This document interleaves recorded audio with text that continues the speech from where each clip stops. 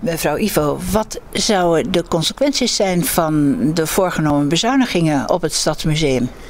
Ja, de gemeente Almelo wil dus bezuinigen voor 65% bijna 65% op, de, op het Stadsmuseum. En dat houdt dus in dat uh, de twee vaste krachten ontslagen moeten worden.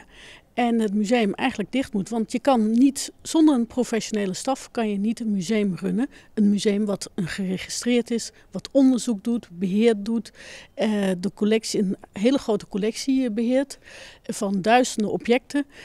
Archieven van bedrijven, inwoners. En uh, ja, dat kan niet zonder een professionele aansturing. Daarom voldoen we ook aan de eisen van internationale museumeisen. Uh, en zijn we een geregistreerd museum.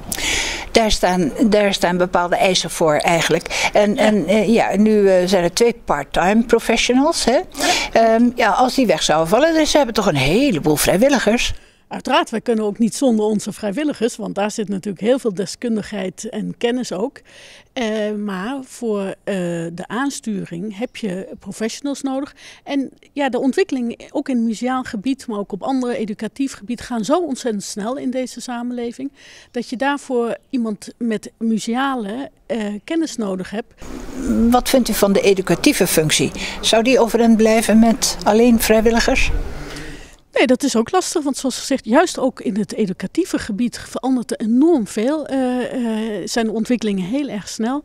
Uh, en het zou toch heel jammer zijn dat hier in Almelo kinderen opgroeien die nog nooit, of misschien nooit, nooit in hun jeugd kennis hebben gemaakt met een, met een museum.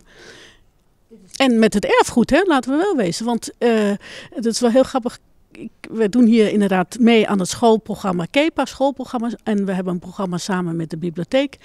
En uh, dan komen hier kinderen inderdaad, die weten eigenlijk niks van de geschiedenis van Almelo. De rijke textielgeschiedenis, die haven die er ooit was. En dan kijken ze hier de schilderijen en al die objecten enzovoort. En het leuke is hoe enthousiast dan kinderen kunnen worden inderdaad. Als, want het is zo belangrijk, het DNA. Wij beheren het DNA van Almelo. Het materiële en immateriële erfgoed. En daarvoor worden we ook door heel veel andere collega's benaderd voor informatie, kennis, inhoud. Uh, en het is mooi om je dat mee te geven aan de kinderen. Nu hebben, heeft het Stadsmuseum twee parttimers eigenlijk in ja. dienst. Ja. En die zouden allebei weg moeten? Ja, die, zeiden, die zouden dan allebei uh, inderdaad ontslagen moeten worden. Ja, ja absoluut. Dan zou het Stadsmuseum uh, om kunnen vallen? Dan gaat het Stadsmuseum omvallen, uiteraard. Ja, ja, ja. Dan gaat het dicht.